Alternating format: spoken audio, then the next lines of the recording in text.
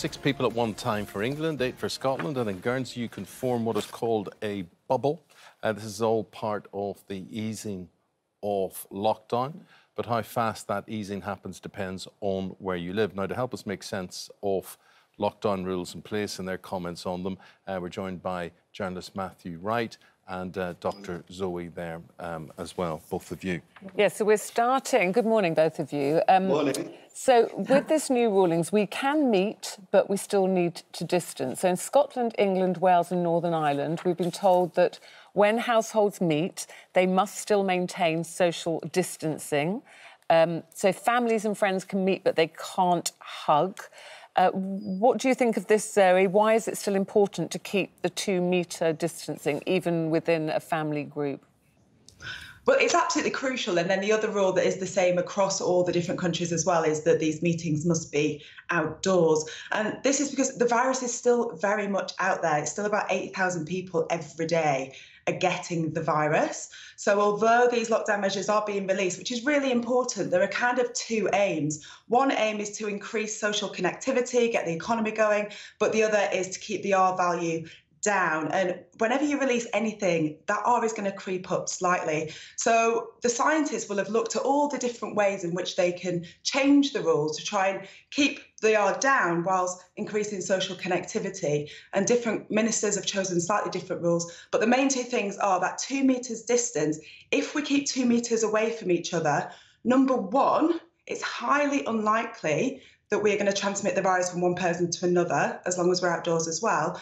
And number two, with the new test and trace, it's one way of protecting ourselves from being put back into self isolation for 14 days. Because if we haven't had contact with anybody at a distance closer than two metres, then we're not going to get one of those phone calls saying that we've been a close contact. Matthew, um, my worry about all of this is having separate rules for England, Scotland, Wales just announced some this morning, Northern Ireland.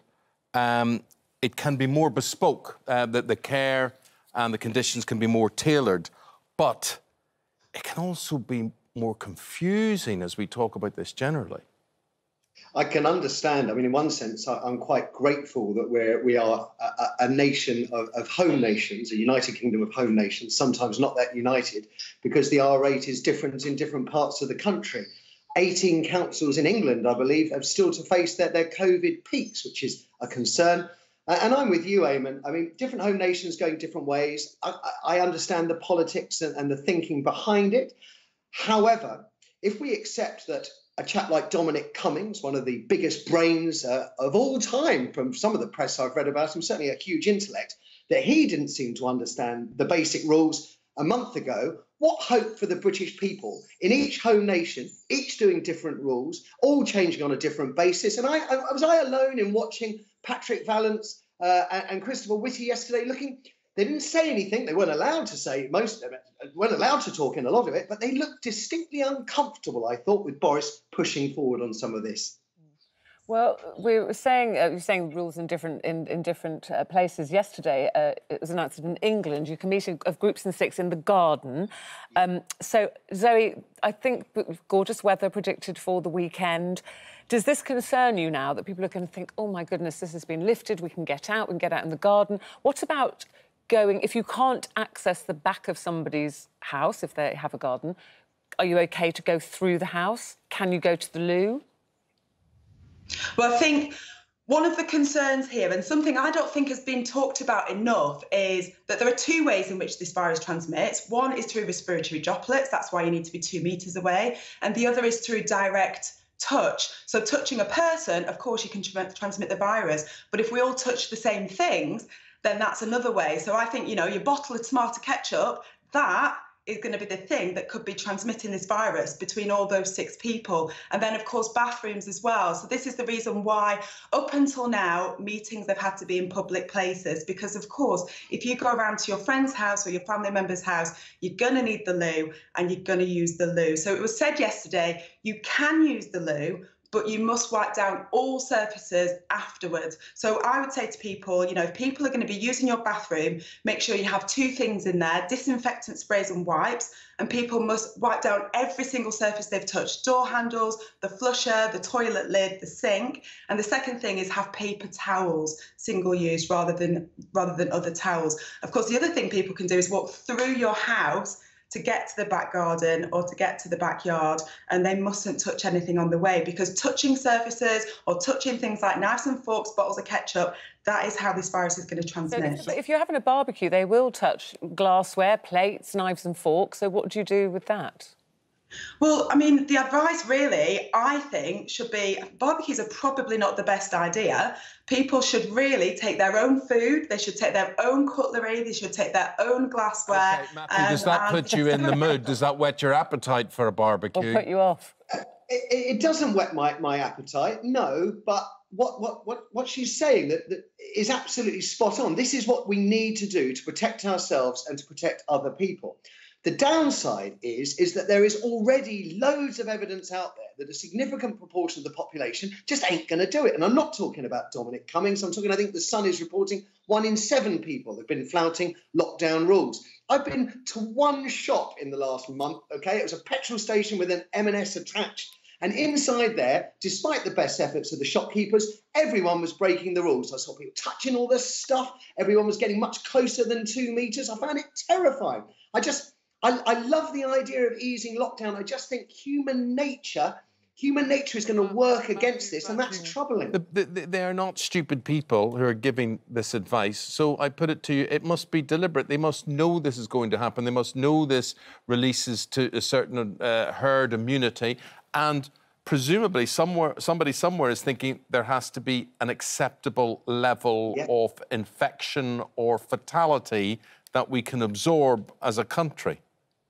Well, I think we have to remember that these very clever scientists that are working and advising the government, they study and they track and they model the behavior of the virus, but they also study, track and model the behavior of human beings. And they know actually that if they set the rules here, then the people, the great people of the UK will kind of, their behavior will be somewhere around here. They know that. Matthew?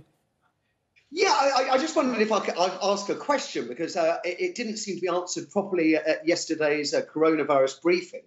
Uh, I, I, just wondered, Doctor, when they say about the, this uh, track and trace, if you travel on public transport, uh, you will come into contact with people closer than two meters. You won't know their names. If you then develop symptoms and someone you get you get the call from track and trace, how are you supposed to detail the names of the people that were sitting next to you on, on the on the underground or on the bus or the train for more than 15 minutes?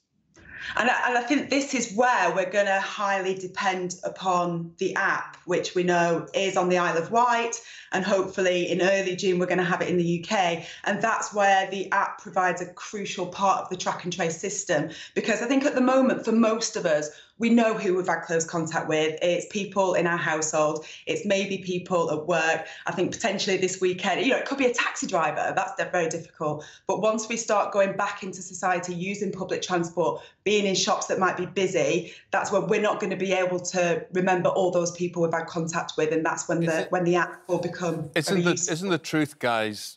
That we're all on our own And we've got to use our own defences, our own common sense in all of this and look after number one? I think, you know, with all the comings and goings that's been going on and people saying, therefore, why sh- should I do it? I think there are two really clear reasons why we should all do this. One, we're going to be meeting up with people that we actually like, probably our favourite people. So, first and foremost, to protect them and ourselves from getting the virus, but also to protect ourselves from having to self isolate. Nobody wants to have to be going to self isolation for 14 days. The best way to prevent that from having to happen is just stay two metres away from everybody. Final word, that's Matthew. Well, that's if you can persuade people to self isolate for 14 days. They talk about individual lockdowns. I've got a small child, which means I can I can cite the Dominic Cummings defence. I can do what I like in the best interest of my child. And there's going to be hundreds of thousands and millions of people out there that I suspect Eamonn may very well put themselves first. But of course, that puts other people at risk. Well, we see this doesn't come into effect until Monday, does it? So, you know, it's a beautiful weather uh, weather forecast yeah. for the weekend. So, watch this space, as they say. Thank you both very much. Stay well. Thank you.